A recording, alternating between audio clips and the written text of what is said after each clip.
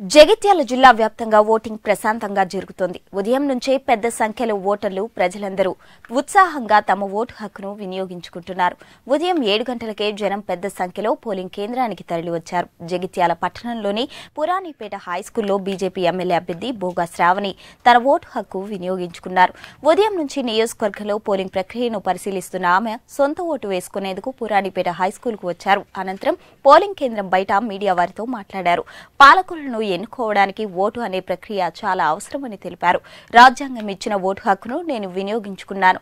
ప్రజలందరూ కూడా తమ విలువైన ఓటు హక్కును వినియోగించుకోవాలని బోగా శ్రావణి కోరారు. ఈరోజు జగిత్యాల నియోజకవర్గంలో ఒక పెద్ద ధర్మ పోరాటం జరుగుతూ ఉంది. ఆ ధర్మ పోరాటంలో ప్రజలందరూ కూడా ఈ ఆడబిడ్డ అయినటువంటి భోగశ్రావణిని ఆశీర్వదిస్తున్నారని నేను అనుకుంటున్నాను. మరి నా వంతుగా ప్రజలందరూ వినియోగించుకోవాల్సిన హక్కు ప్రజాస్వామ్యం ఇచ్చినటువంటి హక్కు రాజ్యాంగం ఇచ్చినటువంటి హక్కు మన ఓటు హక్కు మన పాలకులను మనం నిర్ణయించుకునే మన సేవకులను మనం నిర్ణయించుకునేటటువంటి హక్కు ఓటు హక్కు నా వంతుగా నేను ఈ రోజున జగిత్యాల పట్టణం ఇరవై రెండో వార్డు జెడ్పిహెచ్ఎస్ హై స్కూల్లో నా ఓటు హక్కు వినియోగించడం జరిగింది. ప్రజలందరూ కూడా మార్పు కోరుకుంటా ఉన్నారు.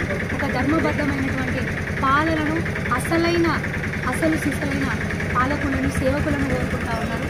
వారందరూ కూడా వారి ఇంటి ఆడబిడ్డగా నన్ను ఆశీర్వదించడం మరొక్కసారి కూడా కోరుకుంటూ వారిని ప్రార్థిస్తూ ఎక్కడికక్కడ కూడా ప్రజలు మార్పు కోసం ఒక ధర్మబద్ధమైన పాలన కోసం కథలు తక్కుదా ఉన్నారు. అది నాకు ప్రస్ఫుటంగా కనిపిస్తూ ఉంది. మరొక్కసారి జగిత్యాల నియోజకవర్గ ప్రజలందరికీ కూడా ఈ ఆడబిడ్డను ఆశీర్వదించగలని ప్రార్థిస్తూ హృదయపూర్వకంగా పాదాభివందనాలు తెలియజేస్తా ఉన్నాను.